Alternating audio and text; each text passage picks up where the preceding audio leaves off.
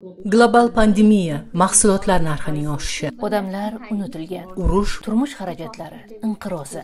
Jahon bo'ylab odamlar oziq ovqat va yoqilg'ining narxlari oshishidan nolishmoqda. Bu inqirozdan qanday chiqish va bu unchalik ham oson bo'lmasligini uchta usul bilan tushuntirishga urinamiz. Soliqlarni kesish. Biz sotib oladigan ko'p narsalarda qiymat solig'i bor. Nimanidir xarid qilsak pulning bir qismi hukumatga tushadi. Agar hukumat bu soliqni kessa mahsulot arzonlashadi va odamlarning xarajati kamayadi. Daromad solig'ini ham kesish mumkin. Soliqlarni kesish bilan soliq to'lovchiga yukni kamaytirasiz. U esa ko'proq pul sarflab iqtisod o'sishiga sababchi bo'ladi.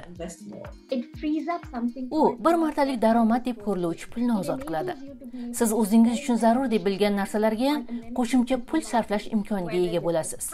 U xoh uy joy xarajati bo'lsin xoh oziq ovqat yo xoh mashina va yoqilg'i xarajatlari. Ammo soliqni kesishning ham xavfli tomonlari bor. Hukumatlarda sarflash uchun pul kamayishi mumkin. Hukumatlar o'z xarajatini kamaytirmay turib soliqlarni kessa budjet defitsiti paydo bo'ladi xo'sh ijtimoiy yordamni kesamanmi?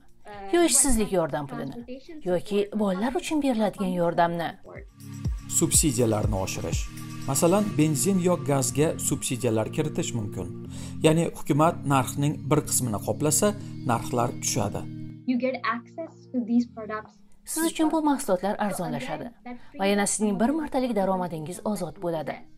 Masalan inflyatsiya tufayli uy joy narxi oshayotgan bo'lsa siz unga ko'proq pul to'lashga qodir bo'lasiz. Ammo muntazam ravishda subsidiya berish qimmatga tushadi. Demak hukumatlar bu pulni boshqa joydan qidirishga majbur bo'lishadi. Subsidiyalar aslida hukumat xarajatlariga yuk bo'ladi. Subsidiyalarni qoplash uchun u yangi daromad yo'llarini topishi va yana o'z fuqarolariga soliqlarni oshirishi mumkin. Inflyatsiyani kamaytirish ko'p davlatlarda narxlar tinimsiz o'syapti. Inflyatsiyani tushirish uchun hukumatlar foiz stavkasini oshirishi mumkin. Bu odamlar va kompaniyalarga qarzga pul olishni qimmatlashtiradi. Foiz stavkalari oshar ekan kredit olish qimmatlashadi.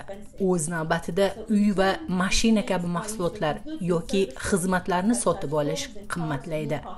Va o'z navbatida iste'molchilar mahsulot va xizmatlar uchun kamroq pul sarflaydilar. Qarz olish qimmatlar ekan odamlar kamroq pul sarflaydi va bu mahsulotga talabni kamaytiradi. Demak narxlar tushishi mumkin. Lekin qimmat qarzlar odamlar va bizneslarga shikast yetkazishi mumkin. Masalan bu nafaqat bir odam darajasida balki hatto kompaniyalarga ham qimmatga tushadi.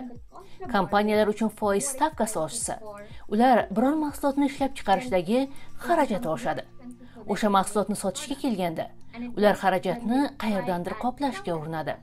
Balal oqibat siz yo men balandroq narxni to'lab bu xarajatni qoplab beramiz.